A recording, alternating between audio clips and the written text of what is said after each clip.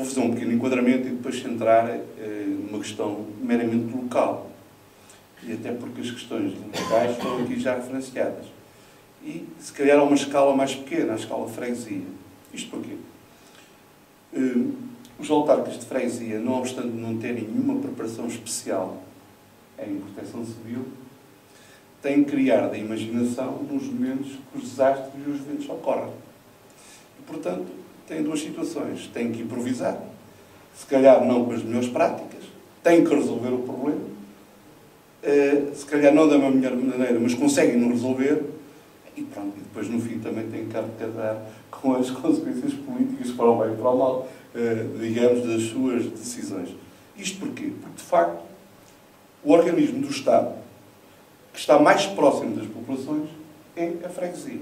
Objetivamente, toda a gente sabe, é, quase, entre aspas, que as grandes freguesias de cidade, quem é o Presidente da Junta, conhecem o e-mail dele, o, o número de telemóvel e onde é que vive.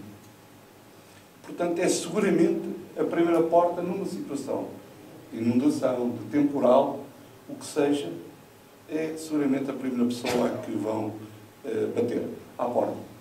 Mais depressa vão à casa do Presidente da Junta e pedir socorro, naturalmente ligarão para direito, pelo 112. Uh, eh, porque essa é uma decisão, digamos, automática. Posto isto, de facto, nós sabemos que as catástrofes têm consequências económicas, sociais, ambientais, custam vidas, destroem bens e custam bilhões e bilhões de, de dólares por, por ano. Um, não obstante, nem sequer conseguimos quantificar quanto é que custa uma vida. Não entram nessas contas, não é? Não, tem, não é quantificável. E, portanto, nós só se lembramos do problema quando ele acontece. Como diz o povo, só quando é que a gente se lembra de Santa Bárbara. E metemos as mãos na cabeça. De facto, agora com o novo quadro para a redução dos riscos e desastres e, eh, digamos, a declaração de Sendai, que tem uma perspectiva de reduzir, de minimizar e de, de atuar a anterior, se quisermos, é? eh, perante os eventos, tem uma mensagem importante. É, de facto, tem que haver um envolvimento e os políticos têm que se comprometer com esta questão. Penso que é uma das mensagens que neste momento são transmitidas precisamente pela uh, própria declaração. E há três palavras, no fundo, dentro daquilo que são as prioridades que o professor José Manuel Mendes falou de manhã, e agora a primeira comunicação também abordou esta questão, nos princípios orientadores e depois nas metas globais, mas nos princípios orientadores há três palavras que são fundamentais. Responsabilidade, coordenação e nível local. Ou seja, a responsabilidade dos organismos do Estado, e que tenham responsabilidades diretas na defesa e proteção das pessoas, a coordenação de diferentes organismos, e já vamos ver um exemplo de facto como é que por vezes a coisa não funciona, e de facto a importância que tem, digamos, e aquilo que temos que assumir sobre os desastres e sobre os riscos das catástrofes ao nível local e a forma como temos que, de facto, atuar ao nível local. E, digamos, tudo isto, eu tirava estas três palavras que são fundamentais. Uh, Pode para trás, desculpa. De facto, há uma tendência para o aumento destes eventos, os estudos assim o indicam. 75% da população no mundo está numa zona de risco. Pelo menos já teve um evento uh, desta natureza, ou já foi afetado, o que é um valor uh, assustador. E diferentes autores indicam que há uma tendência, por exemplo, para o aumento dos riscos hidroclimáticos, ou seja, dos fenómenos hidroclimáticos e, de facto, aquilo que esteja associado, sejam os ciclones, sejam, uh, por exemplo, uh, as inundações. Portanto,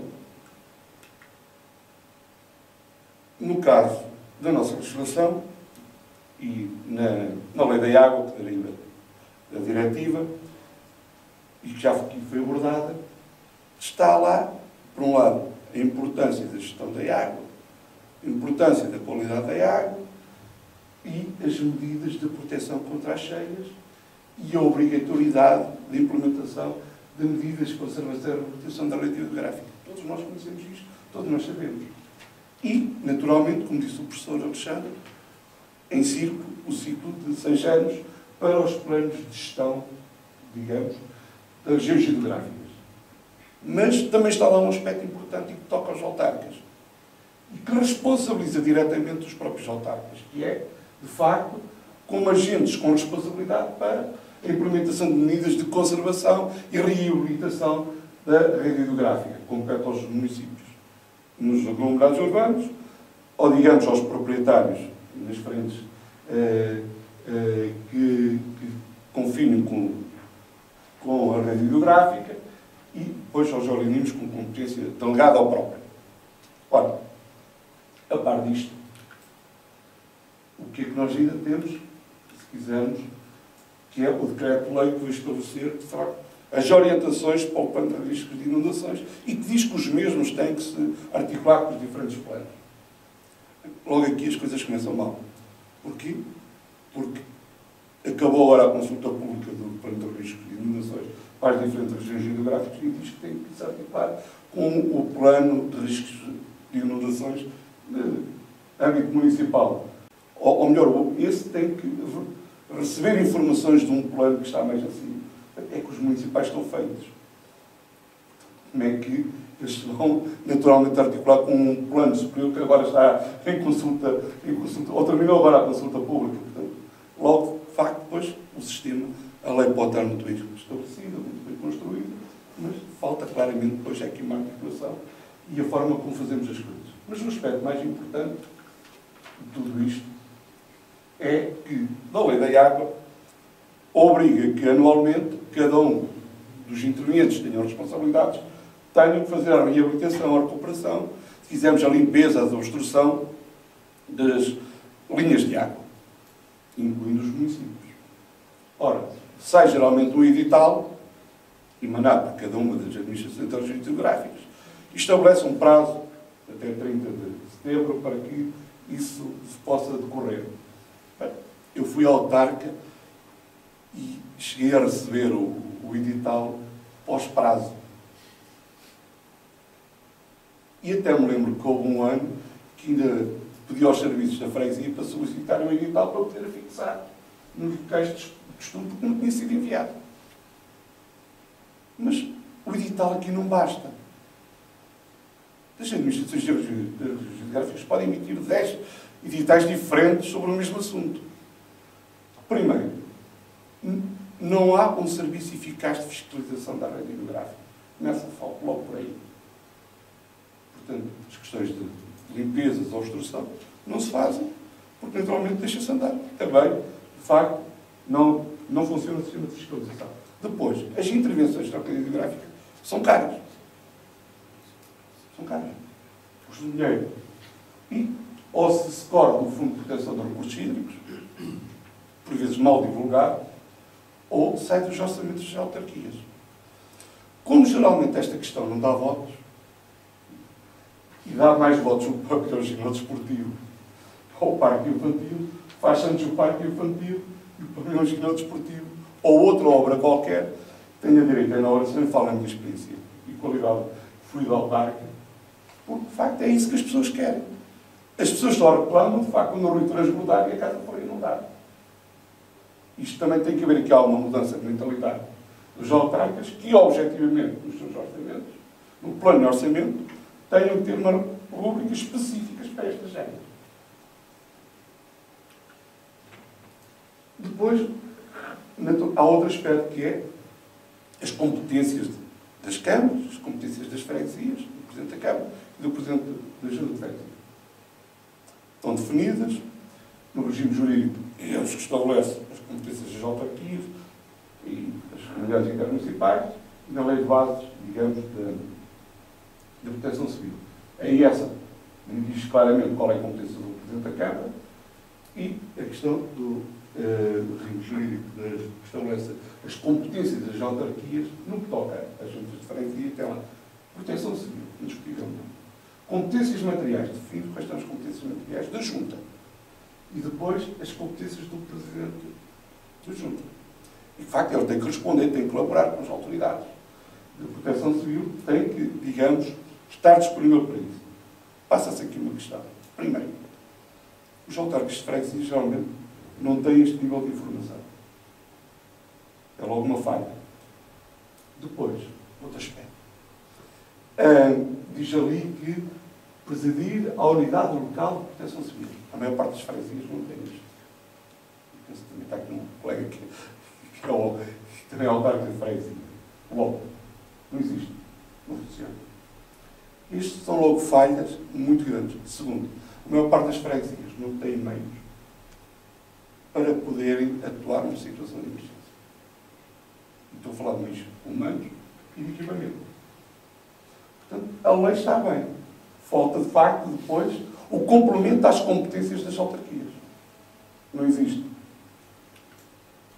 Depois, há um conjunto de entidades, de facto, que atuam nesta área.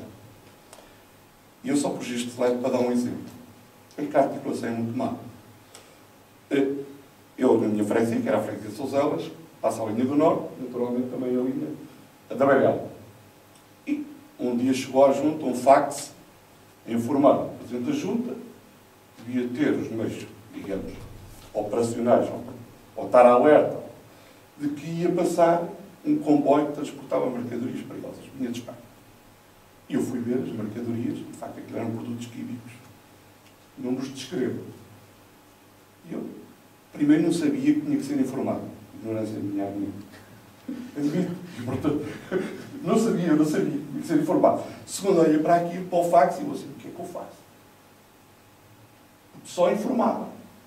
E a natureza do transporte. Depois fui ver melhor o fax e o comboio já tinha passado há quatro dias de noite. Eu juro que isto é verdade. E eu admiti, isto foi um lapso. Aconteceu. Como eu fui autarca dois mandatos, aconteceu mais cinco vezes. Ou seja, não houve uma única vez que essa informação tenha chegado antes de passar o comboio. Eu da primeira vez fiquei descansado. Assim, isto correu bem, não houve aqui problema nenhum. Portanto, a minha preocupação é que isto repetiu-se. Vejam bem, isto era importante informar os autarcas desta responsabilidade e a forma como deviam agir, para quem é que deviam telefonar e com quem é que deviam contactar. Até porque, naquele caso, ainda havia passagens niveladas. Portanto, havia haver um carro a atravessar, uma coisa que houvesse, um descarrilamento. Portanto, isto é um exemplo de facto que sabemos quem são as entidades, sabemos as responsabilidades de cada um, está constituído, mas depois não sabemos a forma como nos articulamos entre nós.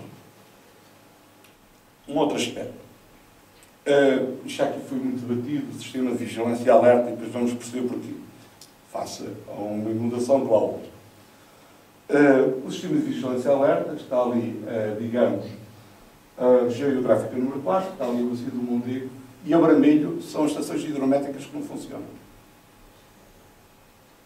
De facto, o sistema é importante, é necessário informar as entidades com responsabilidades da proteção civil, deve recolher os elementos de natureza hidrométrica e hidrológica em cada uma eh, eh, dos rios, onde estão as estações, transmiti-lo a PAIAP, é processado e colocado, digamos, disponível no, no SNIL, no Sistema eh, Nacional de Informação de Recursos Hídricos.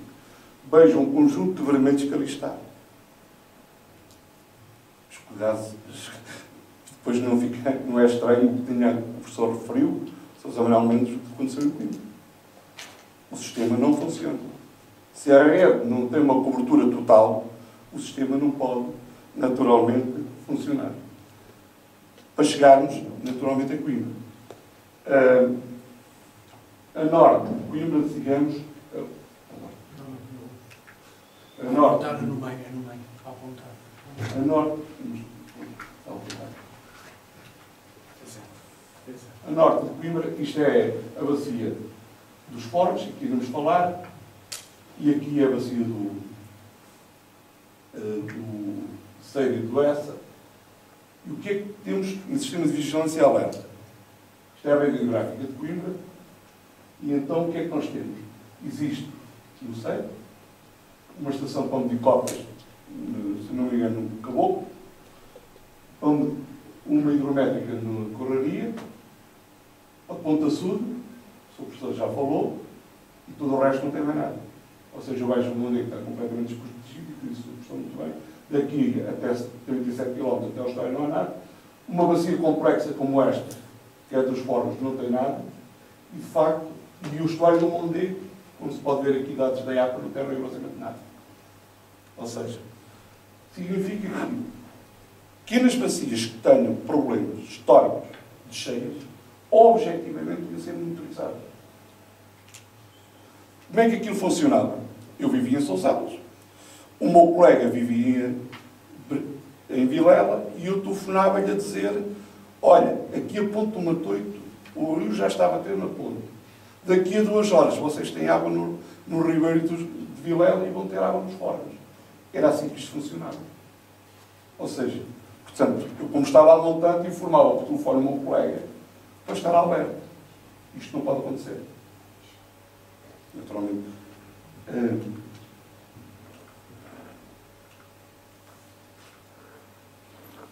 Centramos na questão, então, do Rio dos Fados. E dando dois exemplos de dois eventos que ocorreram. O, plano diretor permitiu, isto é de 94, que de facto o vale fosse ocupado e a construção incidisse fosse um território sobre o próprio vale. Ora, sobre o próprio vale significa que se aproximou do Rio dos Fornos, do Botão e do Resmungão. Ou seja, e esta ocupação antrópica naturalmente tem consequências. Passo seguinte. O, o Plano Diretor Municipal de 2014, o que é que vai estabelecer? Vai estabelecer isto é a área hidrográfica de Coimbra. Nós estamos aqui nesta zona. Este é o Rio dos Fornos. Aqui passa o Botão e são elas foram dos Fornos, aqui é o Mungão, que são rios que funcionam em regime torrencial, portanto, características claramente mediterrânicas, com caudais muito pequenos no, no verão, no inverno com caudais loucos, e as áreas industriais, o rio vai passar por aqui, ok? E o novo plano diretor municipal, o que é que permite? De facto, as áreas industriais que estão aqui possam ampliar nas zonas encostadas ao, ao próprio rio, que já tem problemas de natureza. Esta zona aqui, Drena, é uma zona de drenagem de águas, também aqui para os fornos, que vai dar problema.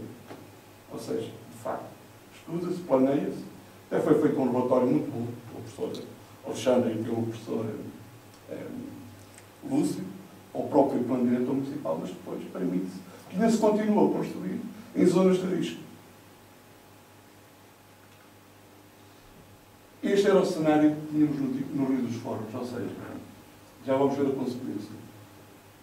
Isto foi uma obra brilhante do Ministério do Ambiente, que resolveu pôr comportas no rio, ou pôr comportas o assoreamento, e, portanto, de facto, dificuldades com a vida. Esta aqui também era outra, de uma de arrancar as comportas, porque senão o rio galgava e não dava uh, no centro da vila. Portanto, uh, o resultado era este, era ele já aqui a transbordar. Depois, passagens subdimensionadas. A zona dos fornos, de facto, em aterro e talude, obrigou a que esta passagem hidráulica fosse destruída no IC2, em função das cheias de 2006, e se gastasse aqui um milhão de euros numa nova passagem hidráulica. Porque, teoricamente, estava subdimensionado. Um, a questão dos aterros, lá está a fiscalização, eles continuam a existir, estão lá. Toda a gente sabe que existe aterros na polícia, na polícia aluvial.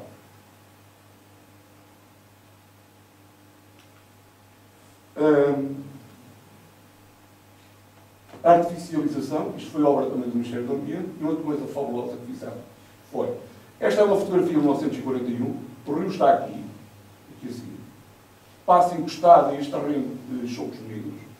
Estes chocos, não todos, mas os que restam aqui, não fizeram esta obra de arte, foi alterar o percurso do rio, subir a cota do, do, do leito, fazer este jardim, foi obra do do Ambiente.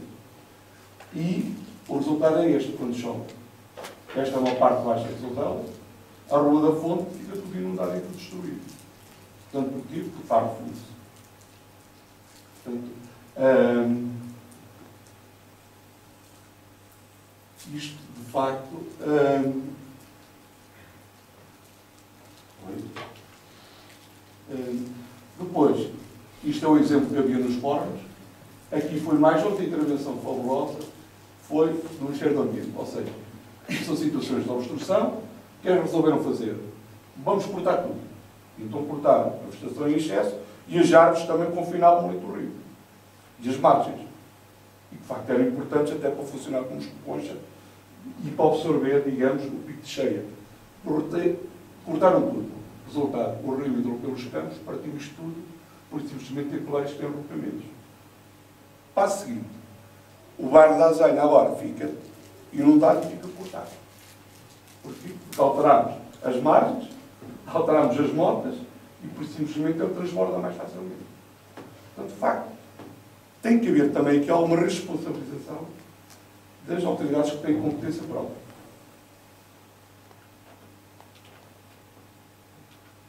Indo, digamos, já cheia 25 para 26 de outubro. Ocorreu de noite. 3 da manhã. 3 da manhã, isto aos fornos sem água, na passagem superior sobre o IC2, o mesmo local, mais ou menos, isto aos fornos que vai estar. Isto aqui assim, em Souselas, no Ribeiro e por aí adiante. Esta aconteceu às 3 da manhã. Às 3 da manhã ligaram, eu saí de casa e tive que atravessar o rio já com, a passar uma ponte, que era a ponte Matoito, e olhei para aquilo e disse, não havia bombeiro, não havia ninguém, como é que vamos resolver isto? Então, qual foi, digamos, as decisões da altura? Foi chamar os funcionários da Junta, o Executivo da Junta, e chamar o Presidente da, Associação Desportiva de Souselas, que foi buscar a direção da Associação Desportiva de Souselas, os treinadores, viviam lá, e chamar o Centro de Apoio Social de Souselas, e mais os membros da Casa do Povo de Souselas. Primeira prioridade, tirar as pessoas de casa. Segunda prioridade, tirar os bens de valor foi possível de algumas eh, eh, famílias. Isto durante a noite. Segunda prioridade, começar a fazer cortes de desvio de, de água. E durante a noite e durante o dia, eu não tive ninguém da variação da queda. Porquê? Como o IC2 ficou cortado aos fornos, como o caminho de ferro também ficou cortado ali no norte, mas também passado em Sousadas, atenção. Como as televisões foram todas para os fornos, portanto o quartel-general foi montado onde? Nos fornos. E eu liguei e perguntei, os senhores não vem ninguém. Ah, isso aí está orientado, porque a gente já sabe que o Presidente da Junta orientou isso. A resposta. Ah, não se chega a Souselas que as estradas estão cortadas. Também era verdade. E eu disse, não, meus amigos, é simples. Os senhores vão diretos a Taveiro, apanham a autoestrada, saem na Melhada, bem por se a gente demora, descem a Azoparria e estão em Souselas. Portanto, até desfiz o percurso. De facto, como é que se chegava a Souselas? De facto, pela Estrada Nacional 336 não podia passar. Quero dizer com isto que, de facto, se não fosse, por um lado, a solidariedade entre as populações, entre os vizinhos, a questão da vizinhança, se não fosse o facto de termos mobilizado três coletividades de, de Sousadas. E, de facto, os dirigentes dessas coletividades serem mobilizados todos. De facto, o Presidente da Associação Desportiva de Sousadas foi extraordinário. Nós não tivemos um carro de bombeiros, um barco, tivemos uma série de, bairros cortados. Um deles só podia se inflar se houvesse uma situação de emergência. né? E durante o dia fomos logo, ainda as seis da manhã, começámos a telefonar, digamos, a, a empresas que tinham máquinas. Ao fim desse dia, estavam as estradas todas desbloqueadas. Bem, agora põe-se aqui uma questão. Então, como é que eu fiz as contratações do- das empresas? Não cumpriu o Código da Contratação Pública, como é evidente. Como é evidente. Como é evidente. Não havia forma, não é? Porquê? Porque também estas coisas não são salvaguardadas para o nível de uma, de uma, de uma freguesia. Eu tenho aqui então um levantamento que foi feito do, da situação da freguesia de Souzelas. Estas foram estradas cortadas. Aqui foi a Torre Vilela, ou seja, a linha do Norte, IC2, o acesso ao IP3 A1, depois as outras estradas municipais. Estes tiveram, digamos, três localidades isoladas. Souzelas teve Pisão dos Canaviais, Lagares, São Martim da Pinheiro. Souzelas centro histórico completamente, bairros do, do Toio Moeda, Alminhas Gazenho. Tivemos uh, galgamentos de pontes 13, a freguesias de outra, e Vilela 3. Habitações 60 completamente inundadas, algumas delas destruídas, dois comércios e uma indústria, 20 deslocados. Habitações aqui foram menos, foram mais comércio e indústria, 10 deslocados. Isto foi o número de cortes de estrada, uma hectare, digamos, isto foi quanto a Junta gastou no dia. E fez um relatório que precisava de 230 e tal mil euros. Aqui, as intervenções em Vilela rondaram os 2 milhões de euros, porque a Câmara também fez uma passagem hidráulica, e outras intervenções mais de 500 mil euros. Ou seja, mas se nós formos ver o slide anterior, um trabalho que faziam com o professor Alexandre e com o professor Lúcio, que depois eu completei, o maior número de pontos críticos é precisamente em Souzelas. Na freguesia de Souzelas. Foi, digamos, em termos de intervenção, a menos uh, favorecida. Posto isto, a Junta de Freguesia resolveu fazer uma coisa. Bem, vamos fazer um relatório e vamos mandar para as entidades competentes. Fizemos um levantamento, uh, enviámos, inclusive, para uh, o Ministério do Ambiente, enviámos o relatório dos custos de gestão no par, todo caracterizado, e com fotografias e tudo mais. Ao fim deste tempo todo, logo de imediato, 2006, e apresentámos, de facto, um relatório detalhado. Primeira questão, segurança social, não tivemos lá. Ou seja, passaram lá só da parte da Câmara, passado duas semanas e meia. E eu com pessoas deslocadas. A Segurança Social de dizia, falem com, com, os serviços sociais da Câmara. Os serviços sociais da Câmara disseram ao Presidente da Junta, olha, você acha que tem lá 10 mil euros para o apoio ao funcionamento, utilize esse dinheiro que a gente não tem. E, portanto, conclusão, resolveu a Junta de Freguesia com o Centro de Apoio Social Social. Toda a gente desresponsabilizou-se. Mas o, o, pior estava para vir. Foi aqui. Isto é na Rua do Lagar, o rio cortou, encostou à, à estrada, caíram alguns carros aqui no rio, e já era um período pós-cheia. Aqui, em Lagares, tudo destruído. Ao fim de três anos, não estavam os muros feitos. Um dia vinha uma cheia e morria lá alguém. O que é que o Presidente da Junta resolveu fazer? Reuniu o Executivo e decidiu fazer um muro de proteção. Até porque teve que alargar, teve que trabalhar assim, porque a, a estrada estava escavada. Em 2009, em setembro, para aí, três semanas antes das eleições, eu era candidato outra vez, não sei, não sei se foi por isso, um processo, a data foi uma data estranha, um processo de coordenação, uma alternativa, um processo de coordenação contra a Junta Freguesia.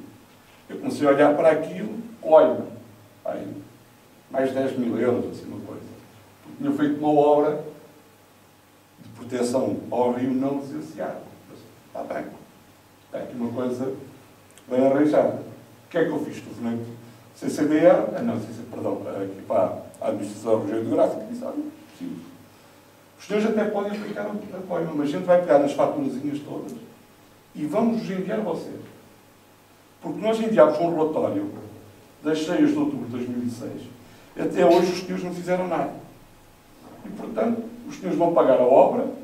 Se morrer alguém ou se ferir alguém, os senhores vão ser responsabilizados. E nós avançamos com um processo contra os senhores por omissão.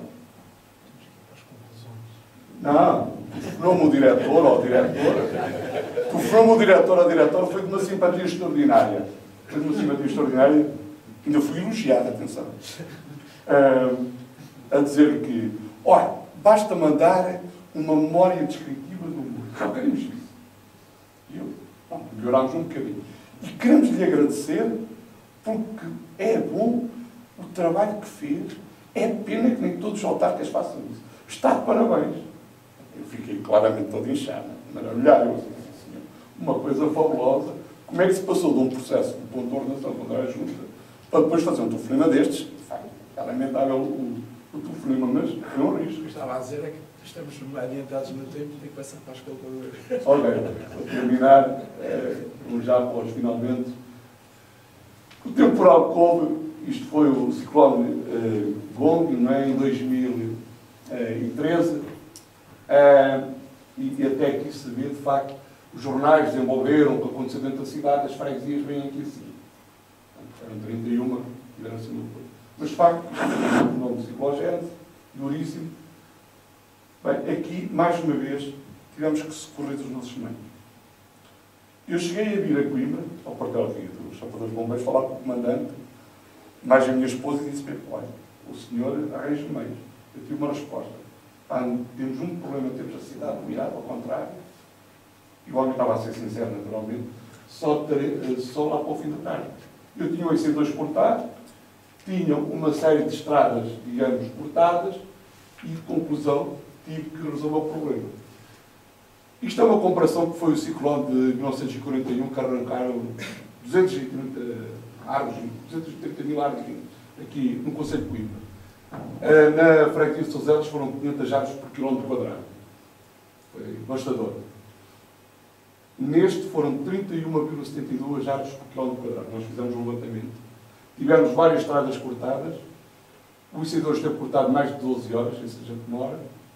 E aqui, e simplesmente, teve que ser ajuda de freguesia a resolver o problema. Eu pensei que fosse só eu. Então o que é que eu fiz? Dividi isto por setores. O setor ficou o presidente da junta responsável, o norte, o tesoureiro, que era de lá, e o setor, digamos, ocidental, ficou a coordenar o, o secretário da junta. Liguei ao meu colega de, de e ele também me disse a mesma coisa. Olha, nós é que resolvemos o problema. Eu, digamos, não foi tão violento como aqui os estragos, mas de facto isto para mostrar quanto importante é, digamos, e aqui houve a população a cortar, ou seja, quem tinha motosserras veio para a rua e veio sempre tido a estrada. Não foi só. Não precisámos de contratar empresas. E, portanto, este é um aspecto que tem que ser valorizado.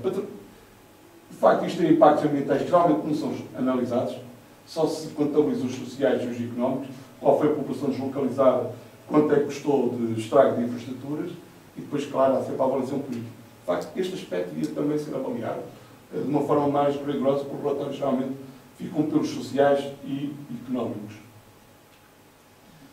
Naturalmente, em termos de conclusão, eh, estamos perante uma situação de alterações, eh, digamos, globais, natureza climática, ou perturbações do uso do solo, ou uma ocupação indevida do solo. Essa ocupação indevida do solo aumentou o risco e exposição e a vulnerabilidade das populações, naturalmente. Eh, há uma tendência para fenómenos, por exemplo, chuvosos, e um efeito maior, digamos, pela natureza da ocupação antrópica nas, nas bacias, são coisas que todos nós sabemos, mas como, digamos, aquilo que é hum, a ocupação do território e o planeamento continua a ser indevido. Senão, não tínhamos, digamos, situações como temos tido ultimamente. Ou seja, de facto, temos o ajustamento do território, mas continuamos a ocupar o território mal. É, de facto, uma realidade. E depois, quando a gente fala que tem que ser reabilitada a rede hidrográfica, por exemplo, para diminuir a cheia, tem que ser reabilitada, mas depois não se faz programas globais, por exemplo, para a rede hidrográfica de Coimbra. Total. Ou seja, programas de limpeza, de obstrução, eh, reposição de motas, de margens, eh, recuperação da ganaderia agrícola, eh, manutenção dos sistemas de drenagem operacionais, digamos, ver como é que estão a funcionar as passagens hidráulicas, se estão obstruídas, se não estão obstruídas. Ou seja, atua-se muito setor, setorizadamente. Quando, de facto, devíamos ter um plano mais abrangente e mais, mais, mais global. Depois, já se falou aqui, o, sistema de, digamos, de, de vigilância e alerta de não se pode limitar aos jandareiros. De facto, aquelas bacias mais pequenas que tenham problemas, objetivamente, têm que estar abrangidas por este, um, sistema. A informação no, no, no, no, no portal do, do CEDIR. Ou seja, a informação, devemos democratizar a informação e torná-la o mais acessível possível ao maior número possível de pessoas. Se cada um de nós for consultar o, o CEDIR, fica desiludido, porque é difícil de consultar. De facto, o cidadão comum não, não tem alguma dificuldade a mexer eh, neste, neste portal, menos a, consultá-lo. Um,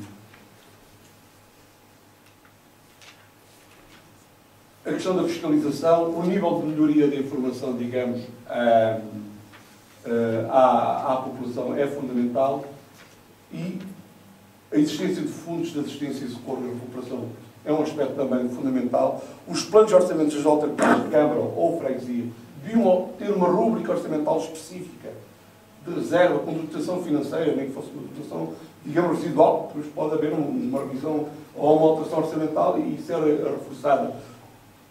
Para situações de, digamos, de desastre e calamidade, a articulação entre as entidades deve claramente ser, ser melhor.